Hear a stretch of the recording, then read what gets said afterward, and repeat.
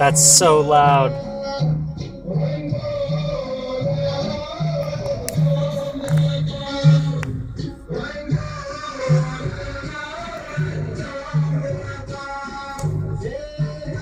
Looks like he's got a TV up there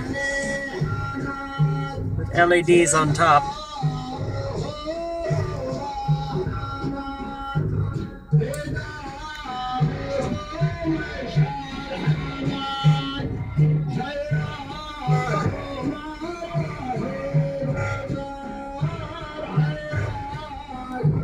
Okay,